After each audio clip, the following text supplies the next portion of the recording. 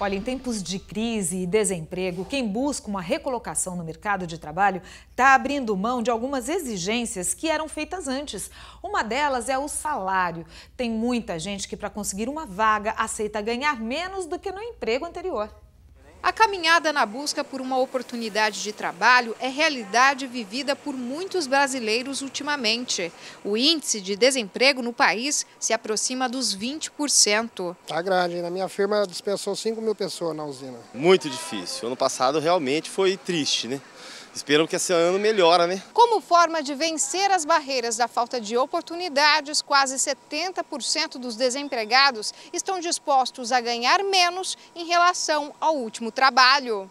A pesquisa do SPC Brasil e da Confederação Nacional dos Dirigentes Logistas aponta que, dentre os principais motivos para isso, estão as máximas de que o importante é conseguir pagar as contas ou simplesmente voltar ao mercado de trabalho. Rosimeire faz parte dessa estatística. Todos os dias ela distribui currículos pelas empresas, sonhando em ser chamada para preencher qualquer vaga. Eu estou pedindo para Deus para me arrumar, preparar um serviço para mim né? É o que aparecer, né?